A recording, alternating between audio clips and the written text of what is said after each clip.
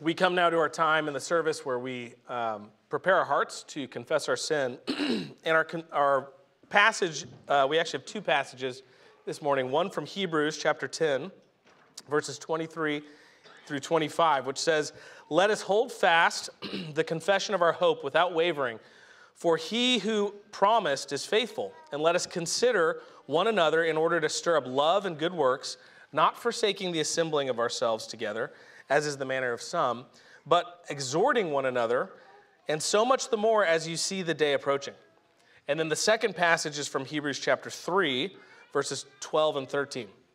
Be- Beware, brethren, lest there be any, in any of you an evil heart of unbelief in departing from the living God, but exhort one another daily while it is called today, lest any of you be hardened through the deceitfulness of sin.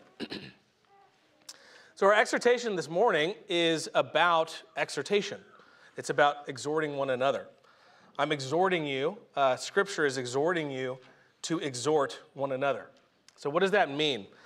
Well, to start, we need to dispel the modern um, lie that the Christian religion is primarily an individual religion, one in which your membership to any particular body of believers is irrelevant so long as you have been personally saved.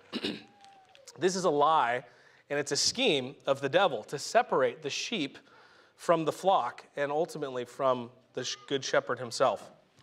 There's an there's a expression attributed to the third century church father Cyprian. Outside of the church, there is no salvation.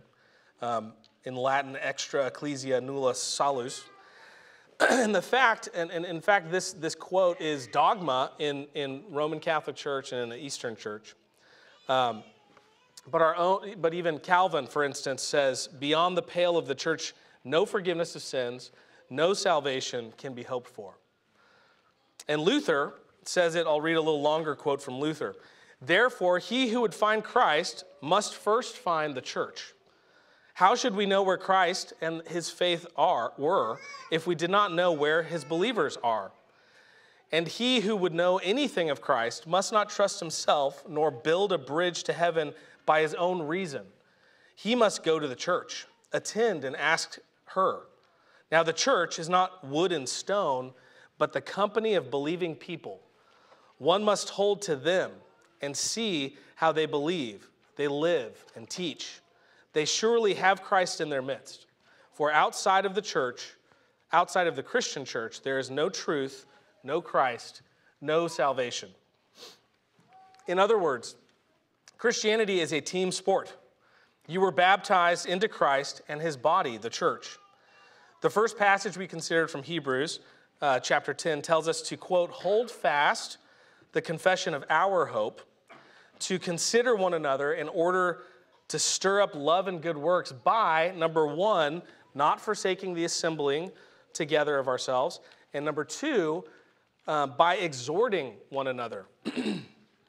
so, how do we hold fast to our confession of hope and stir one another up to good works?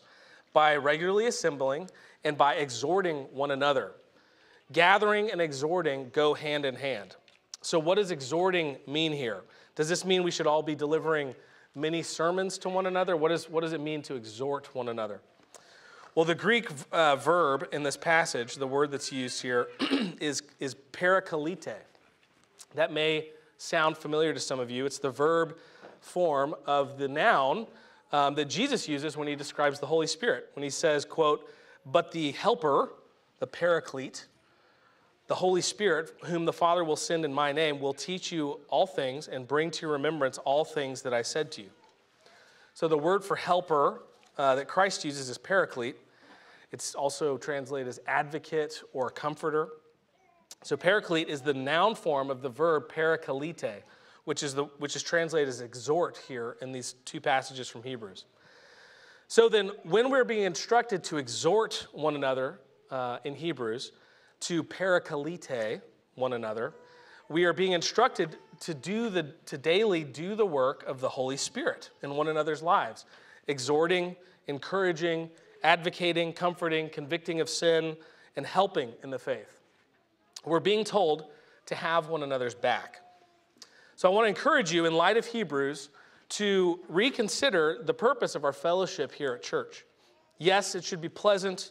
There's nothing, no, there's nothing wrong with talking about football, the weather, or Babylon Bee, or whatever it is. But ultimately, if we're obeying uh, the instructions here in, in Hebrews, then our fellowship with one another needs to also be helpful. It should stir one another up to love and good works. This exhorting of one another um, is a big deal. The author of Hebrews goes on in, in, in Hebrews 3 to warn us of the grave danger to our souls um, that is there if we neglect this vital work of, of continually exhorting one another.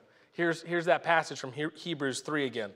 Beware, brethren, lest there be any of you with an evil heart of unbelief in departing from the living God, but exhort one another daily while it is called today, lest any of you be hardened through the deceitfulness of sin. So if we neglect this work of exhorting one another daily, then we risk developing an evil heart of unbelief, departing from the living God, and becoming hardened through the deceitfulness of sin. Our continued faithfulness and obedience to God depends, in large part, on the faithfulness of our fellow believers to exhort us daily so that our hearts don't grow hardened to sin and we deceive ourselves and drift away from God. So it's clearer now, right? Why, why Luther says something like, outside of the church, there is no truth, no Christ, no salvation. Our Christian duty to exhort one another is a serious responsibility. So, quickly, how should we do this? Here are a few quick um, suggestions. One is attend worship regularly, and that's what Hebrews tells us to do. Be exhorted by God and receive and receive that exhortation with a broken and contrite heart.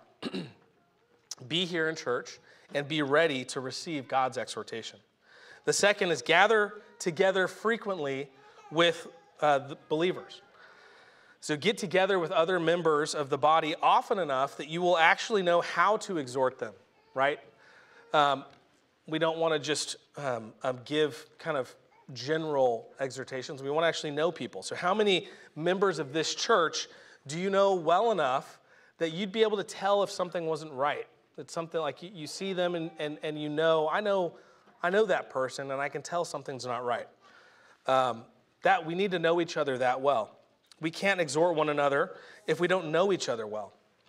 So spend enough time with the brethren that you actually know what's going on in each other's lives and that you would actually feel comfortable talking to them about serious things and not just surfacey things.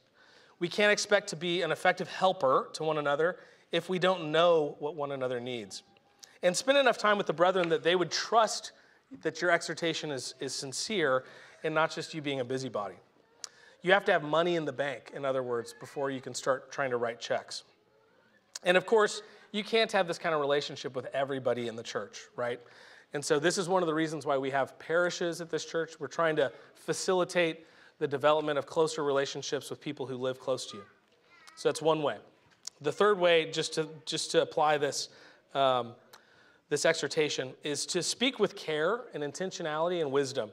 So none of us needs to hear more empty, out of context Hallmark card, you know, Bible quotes, and meaningless Christianese from one another. Okay, um, you know, God bless you, brother. I'll be praying for you. You know, just the, the kind of stuff that we say. Um, it's frequently just careless rattle. You know, it, it's just we're just carelessly rattling off biblical sounding encouragement that's that's empty and confusing. What we need are brothers and sisters who actually know us and who love us and who are willing to speak the truth to us in love. This requires that all of us be thoughtful, that we study the word, that we're in prayer regularly. And if you feel led to encourage or to exhort someone, in general, it's a good idea uh, to, to have prayed about it, to have thought about it, to have studied the issue before you do so. And so, in summary, the exhortation this morning is that there should not be a day that passes when you are not exhorting your brothers and sisters in Christ. As Hebrews says, while it is called today, exhort one another, lest anyone be hardened through the deceitfulness of sin.